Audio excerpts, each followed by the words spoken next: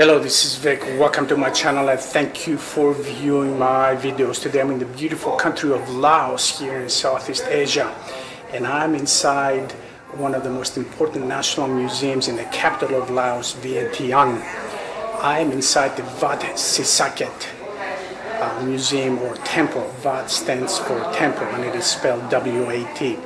Now this used to be a Lao monastery, Buddhist monastery built in 1818 and now it has been converted into a wonderful museum.